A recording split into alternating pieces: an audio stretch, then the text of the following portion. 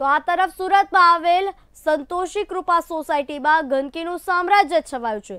સોસાયટીના રહીશો હાલ પારાવાર મુશ્કેલીનો સામનો કરી રહ્યા છે. સોસાયટીની ગટર લાઇન છેલ્લા છ દિવસથી ઓવરફ્લો થતા ગટરનું પાણી રોડ પર આવી ગયું છે. આ પ્રકારના સમાચાર સામે આવ્યા છે. આ સમાચાર તરફ નજર કરીએ, આ ગટરનું પાણી અતિ દુર્ગંધ મારતું હોય છે અને તેના કારણે સ્થાનિકોને પારાવાર મુશ્કેલીનો સામનો કરવાનો વારો આવ્યો છે.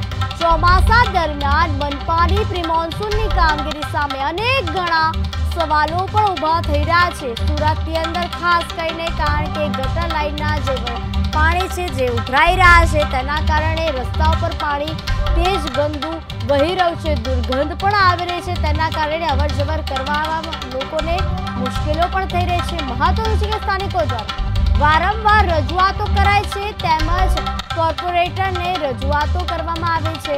તેમ છતાંય કોઈ નિરાકરણ નહીં આવતા સ્થાનિકોએ વિરોધ સખતનો નોંધાવ્યો છે.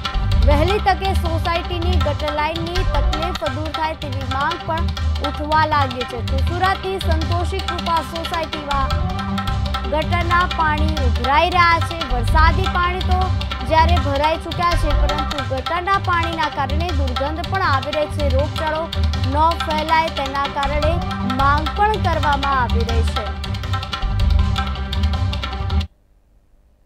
અત્યારે એ રીતના છે, વોર્ડ ઓફિસમાં, મેન લાઇનમાં બધીએ ફરિયાદ આપેલી છે અને એની કોપી પણ અમારી પાસે છે.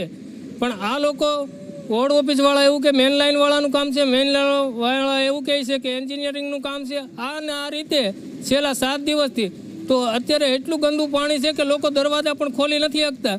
અને વાત રહી કે જે અમારા કોર્પોરેટર, તો સ્થાનિક કોર્પોરેટર નથી તો પહેલાં લોકો અધિકારીઓ એકબીજાના નામ આપ્યા કરે. તો હમણાં જ મારે હજી એક કોર્પોરેટર હારે વાત થઈ, તો એણે એવું કીધું કે ભાઈ ત્યાં જીસીબી આવે